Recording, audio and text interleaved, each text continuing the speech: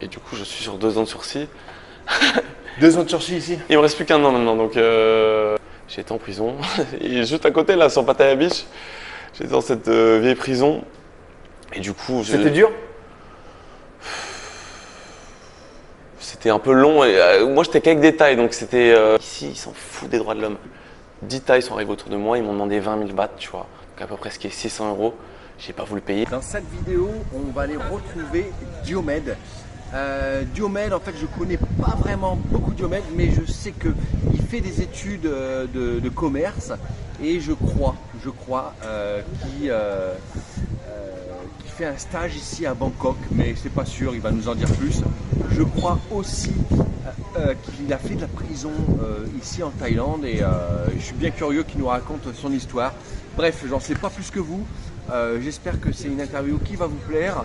Euh, faites une petite pause maintenant, ça prend deux secondes pour vous abonner à cette chaîne parce que je vois trop de monde qui regarde des vidéos mais qui ne sont pas abonnés. Donc euh, prenez une 32 secondes, deux secondes pour vous abonner et acti- activer la petite cloche. Ça vous permettra en fait de recevoir toutes mes vidéos, tous mes prochaines interviews sur la Thaïlande, tous mes bons plans sur la Thaïlande et je suis sûr que ça va vous intéresser. Voilà, euh, mon Instagram c'est funformat, il s'affiche ici. Je, par- je partage plein de pépites si vous voulez venir me voir. Et puis euh, si vous voulez euh, m'aider dans ma petite cagnotte, j'ai une petite cagnotte Tipeee que vous retrouvez sous la vidéo en description. Et grâce en fait à vos dons, ben, vous allez voir sous la vidéo en description, vous avez plein de vidéos quand grâce à vos dons, on va dans les hôpitaux pour offrir des cadeaux aux enfants malades. Voilà, donc bah, c'est parti avec Diomède. Salut Diomède, comment ça va? Est-ce que ça va et toi, Matt? Bah écoute, ça va super bien. Alors, on est où là? Je te vois avec une super belle vue là. On est où là? Eh ben écoute, on domine euh, Pattaya Beach actuellement, là. On y est pour quelques jours, euh, là où je t'ai rencontré. Je, crois que tu, tu repars bientôt, non? Ouais, ouais, c'est ça, ouais, c'est ça. Ouais. Et du coup, j'y suis pour quelques temps. Euh, après, on va repartir sur Chiang Mai. Première fois sur Chiang Mai. sur Chiang Mai? D'accord. Moi, je, suis, je connais plus Phuket de base et Pattaya, donc euh, je vais plus te parler de ça. D'accord. Après, ça serait une nouvelle aventure sur Chiang Mai. Donc euh, D'accord. on va bien voir, euh, T'as quel âge? Là, du coup, j'ai 25 ans là actuellement. T'as 25 ans J'ai 25 ok. ans. Et qu'est-ce que tu fais à Pattaya? Alors à Pattaya, je fais un stage en distanciel. C'est quoi ça? Euh, c'est un stage, je suis en école commerce. euh, en école de commerce Je suis en école commerce. ouais. T'es quelle année Master euh, Du coup, je suis en dernière année de master là. J'ai mon oral dans, mon oral dans quelques mois. Après, on finit. Et après, peut-être peut-être venir travailler en Thaïlande ou en Asie. En tout cas, en Asie, c'est sûr. Et je après, pense tu vas faire l'import-export, euh, du commerce international en tous les cas. C'est ça. Plus management marketing, on va voir. Donc, euh, quelque chose comme ça. ouais. Tu parles combien de langues?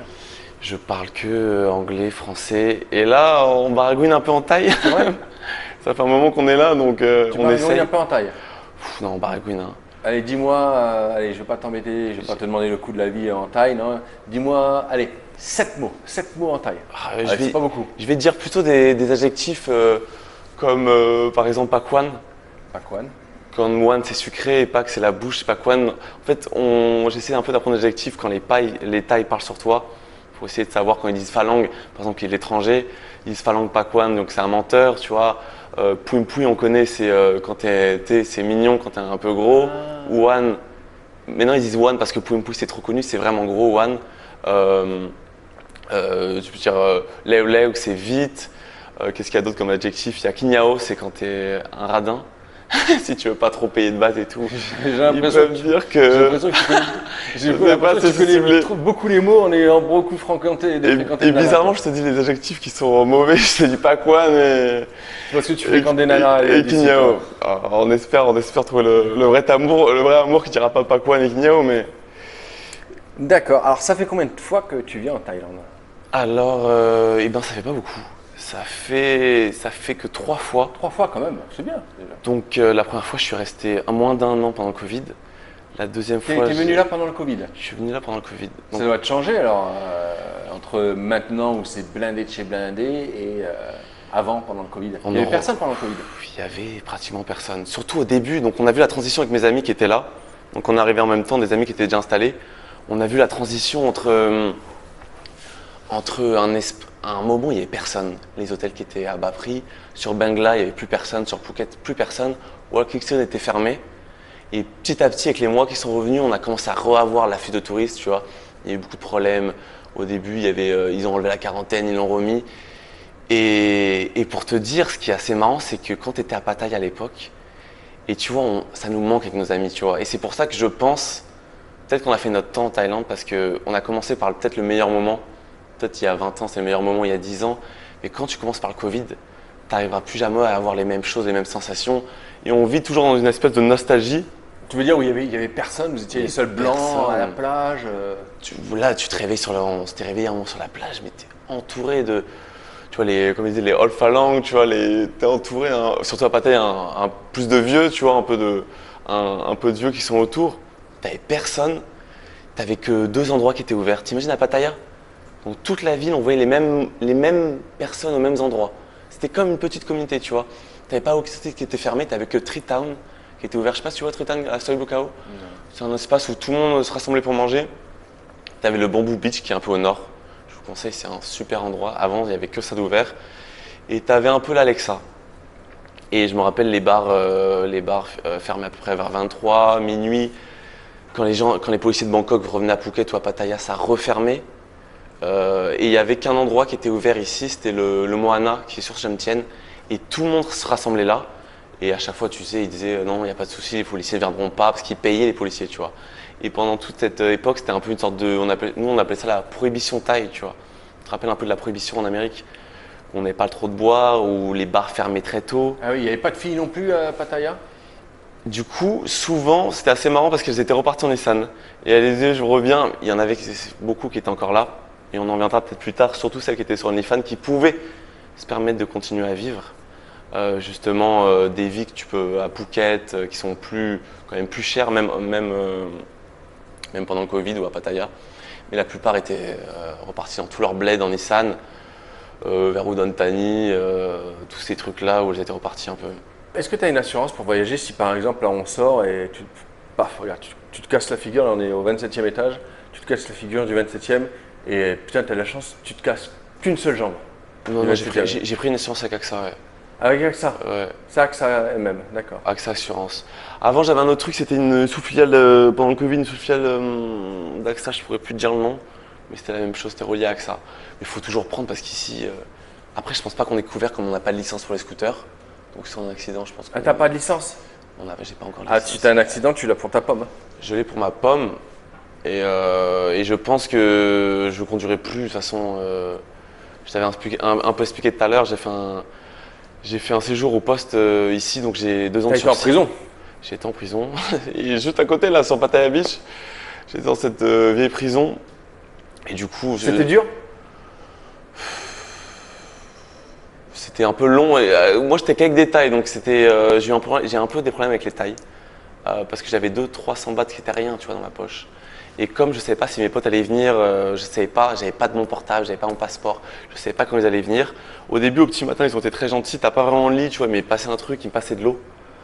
Et après, ils savaient que j'avais 200-300 bahts, ils m'ont demandé 200 bahts, mais je savais pas combien de temps j'allais rester, donc j'ai pas voulu les passer, c'était une grosse erreur. Et là, ils ont commencé à péter un câble, et là, les, ils ont commencé à me jeter des bouteilles d'eau, tu vois, ils ont commencé à être méchants avec moi. Qui ça, les prisonniers? Les prisonniers, tu vois, et des mecs qui étaient là pour de la ice, donc ça faisait un moment, tu vois. Et pour moi, c'était une garde à vue, tu vois. Je pouvais pas être avec des, des mecs qui étaient là depuis longtemps. Ils me disaient, tu vas rester longtemps avec nous, nan, Donc quand ils faisaient un peu ça, j'essayais de me mettre vers les vigiles, vers les caméras. Mais les vigiles sont aussi. euh, les vigiles sont pas sympas avec toi. Je demandais un peu d'eau, et ils me disaient, you want one beer, ils me faisaient un gros fuck, tu vois. Donc un peu difficile, dès qu'ils ramènent le passeport, ils commencent, les vigiles, à- dès que mon pote a ramené le passeport euh, avec sa copine, ils ont commencé à être un peu plus gentils avant qu'on aille au tribunal. Je pense pas que c'était le plus dur, tu vois. Je pense qu'il y a des trucs comme on disait à Bogota et tout, où ça craint vraiment, tu Ouais, vois. mais bon, t'as quand même fait du coup un peu de. Mais- un peu de prison. euh. Très mauvais souvenir, tu vois. Très mauvais souvenir. euh, et après, ça calme. Tu vois, euh, après, c'est le jeu. Hein. Je- J'ai conduit bourré, c'était pas de ma faute parce qu'en fait, j'étais sur euh, Jumpton Beach et euh, et un taille qui. J'étais sur la droite, je suis tout sur la droite, il y a un taille qui m'est rentré dedans. Je tombe avec mon scooter comme ça. Et en fait, ils m'ont demandé, euh, je te l'ai un peu expliqué tout à l'heure, le taille a dit qu'il avait très mal au genou, moi j'étais en sang aussi. Je lui ai dit, bah, montre-moi ton genou, il n'a pas voulu. 10 tailles sont arrivés autour de moi, ils m'ont demandé 20 000 bahts, tu vois. Donc à peu près ce qui est 600 euros. J'ai pas voulu payer, j'ai dit, c'est toi qui es en tort. C'était une très grosse, gr- très grosse erreur, il faut toujours payer. Et après, on m'a dit, j'ai d'autres potes qui t'apprennent, ils m'ont dit, paye toujours, toujours paye. Parce qu'après, comme moi, je vais aller au tribunal, tu as des problèmes, tu vas payer encore plus cher. Tu n'es pas chez toi, tu vas payer encore plus cher. J'avais un peu l'esprit français, tu vois, en mode. euh, tu, vois, avec la police, on, est toujours. euh, non, non, c'est c'est pas de ma faute, j'ai rien fait. Tu vois, on cherche toujours, tu vois. Euh, non, c'est la justice, c'était avec moi, tu vois. Un peu le droit de l'homme, tu vois. Ici, ils s'en foutent des droits de l'homme. Donc c'est toi qui es en tort, t'as pas de licence. C'est lui qui est en tort, mais t'as pas de licence. T'as un peu bu et t'es un phalangue, donc t'es un étranger.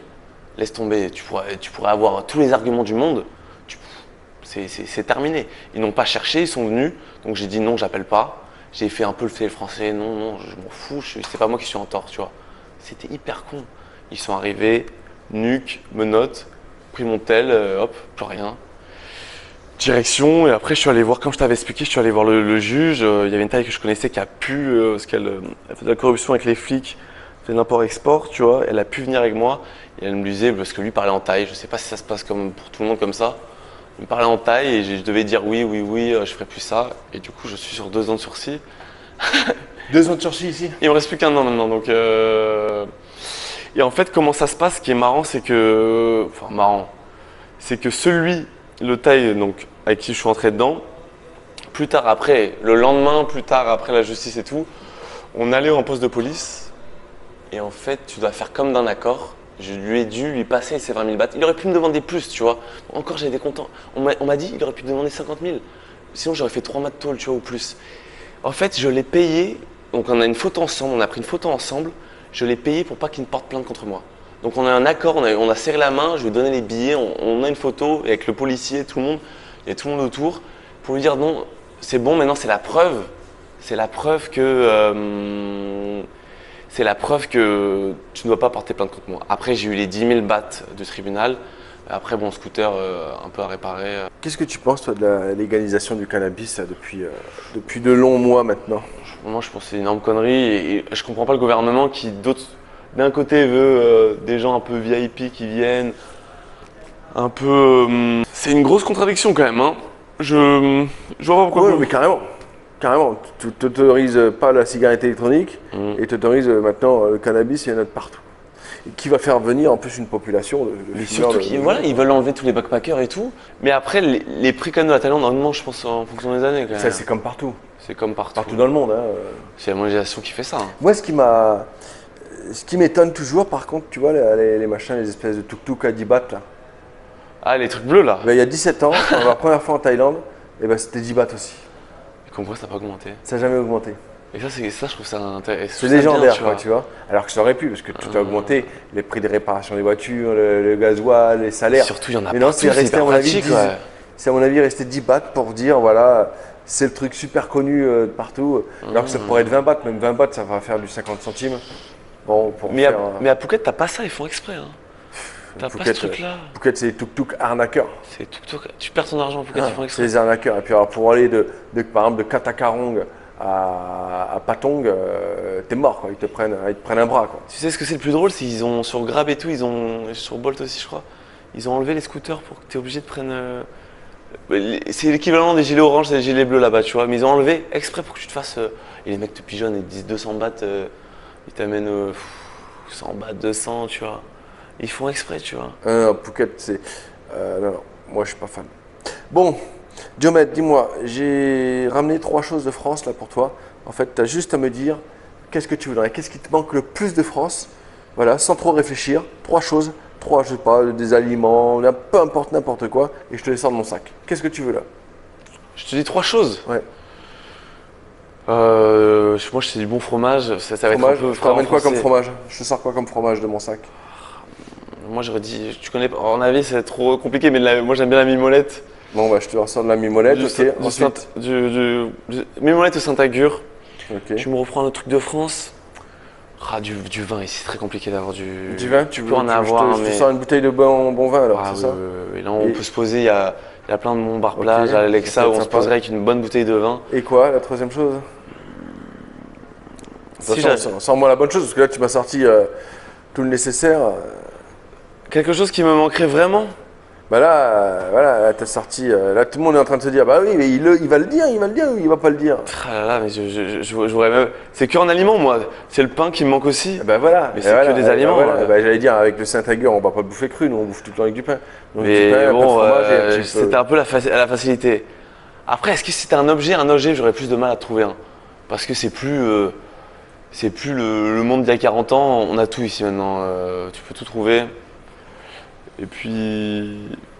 C'est même mieux qu'en France parce que t'as un problème. Tu vas au Seven, les pharmacies sont ouvertes ici. Donc, euh, Ouais. Eh bien écoute Diomède, un grand merci pour cette interview. Finalement ça a été plus une discussion entre nous qu'un interview. C'était en fait. sympa, hein. Mais c'était sympa. Ça ressemblait un peu à une discussion qu'on a eue tout à C'est l'heure. ouais, euh, plus une discussion en fait. ouais. ah, c'est comme si qu'on calcule, c'est comme si qu'on calculait même pas les gens qui, qui, qui ont, on va Mais j'ai même oublié de regarder ta, ta, ta- ta caméra des fois. euh. Ouais, c'est pas grave. Après, je sais pas si tu pourras leur montrer, on est Bon, très bien je vais ici. te dire honnêtement, je fais ça aussi les interviews. euh, C'est pour partager aussi des, des expériences. euh, Voyager, moi j'aime bien rencontrer les gens, ça me permet de voyager, ça me permet d'apprendre des choses. Et puis euh, comme ça on le met aussi sur YouTube, comme ça ça peut faire des vues, ça peut apprendre des choses à des gens, bah écoute c'est tant mieux. Un grand Ouais. merci à toi, Matt. Et c'est pour ça que les gens t'aiment bien, très naturel, tu vois, t'es très naturel. On n'a pas l'impression du tout qu'on a fait une interview. Ouais, ouais. On aurait pu limite euh, se boire quelques bières en direct ou. euh, c'est un grand plaisir. Et puis la- l'aventure continue, euh, matin. Mais carrément. carrément. De toute façon on se recroisera. hein. Dis-nous où tu vas aller après là-dessus. Donc tu vas aller à. Là je vais aller à Kosamet. À Kosamet quelques temps, tu vas un peu te reposer là, tranquille. Ouais, je suis fatigué. Je suis très fatigué. Tu vas Et ouais, je suis très fatigué parce que je m'étais dit, je m'étais donné, allez, hop, euh, euh, tant de jours à Pattaya pour faire un maximum de vidéos croustillantes pour qu'ils kiffent, quoi, tu vois, les gens. Et ça, avec euh, enchaîner les interviews, les vidéos, les machins et tout, je vais te dire, j'ai un planning, euh, je te mens pas, regarde. Ouais.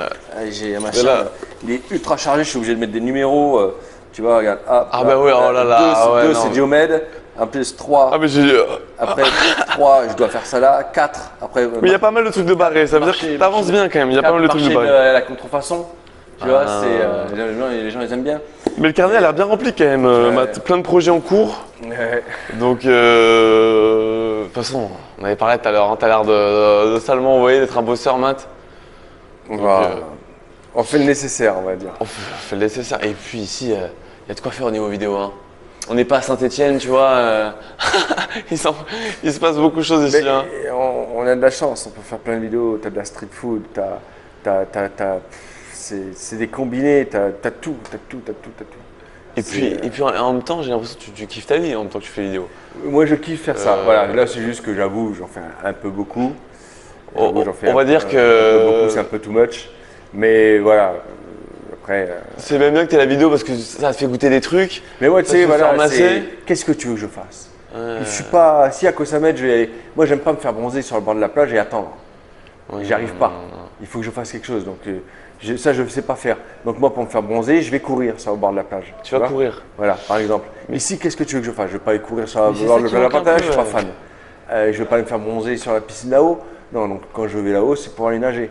Euh, donc, qu'est-ce que tu veux que je fasse de mes journées À part bosser? Moi, il faut que je bosse. Je suis un bosseur. Tu bosses et en même temps Tu tu vois, me bronzes, c'est- putain. voilà, c'est, euh, Bon, bref. Mais euh, écoute, un grand merci Diomède. Alors, je ne sais pas Un si les gens sont encore hein. là après 40 ou 45 minutes ou, ou 35 Tu, minutes. tu euh, couperas si tout n'est voilà, pas, tout n'est pas on- intéressant, je tout vais- n'est- tout pas à prendre. Hein. Donc, pas, merci si vous êtes encore là, merci beaucoup. Euh, et puis, euh, bah, n'hésitez pas à nous mettre un petit pouce bleu. De toute façon, Matt, on se recroisera Ouais, ou euh, carrément, un petit pouce si bleu. des gens voient la vidéo euh, qui te recroiseront. euh, Voilà, merci un, Matt. un hein. petit, pouce, un petit pouce bleu, abonnez-vous à cette chaîne. Allez Matt, Si, euh, Merci à toi. Mon petit message de la fin, je t'ai dit, j'ai un petit compte Tipeee pour, pour les enfants malades. Des fois, ouais, j'ai même été là dans des refuges, euh, donner des, des croquettes aux chiens et tout, acheter des croquettes là là, et les tout, pauvres avec les dons, les- Thaïlande. Oh là là. avec les dons qu'on me donne. Alors n'hésitez pas, si vous voulez, euh, si vous voulez m'aider un petit peu, bah, vous pouvez. Grâce à vos dons, après on va dans les hôpitaux pour les enfants malades ou dans les refuges. Enfin, on fait plein de trucs. Sous la vidéo en description, vous allez retrouver plein de vidéos quand on le fait. Vous avez mon compte Tipeee. Euh, euh, si vous voulez aller me voir sur Instagram, bah, ça s'appelle Fun Format. J'y partage plein de pépites. Et puis voilà, et, euh, et puis si vous êtes encore là en, comment- en- dans la vidéo, bravo, et marquez-moi en commentaire. euh, qu'est-ce que- qu'est-ce qu'on qu'est-ce qu'on peut leur dire comme connerie à marquer en commentaire Allez. Oh là là. Une petite phrase.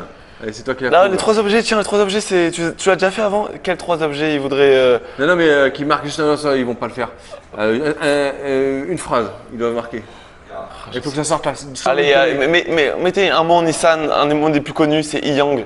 Ça fera plaisir aux gens de Nissan. Il y a beaucoup de gens de Nissan ici à Pattaya. Yang. Iyang, I-Y-A-N-G. I, Y, Il faut que vous disiez Iyang tout le temps, les gens vont vous regarder. Iyang. Ouais, ouais, ouais. I, Y, A, N, G. Bon, bah, marquez Ah, ça en commentaire. hein. euh, voilà. Si vous êtes encore là, mais tu sais, après 45 minutes, c'est les gens euh, sur un malentendu hein, qui sont encore là. Les, les vrais- auront mis Yang, je pense que je vais faire plein de faux comptes, je vais mettre Yang moi. Moi aussi. Et j'en suis. Bon, bah, allez, merci les amis. Ciao, salut. Merci à toi, merci.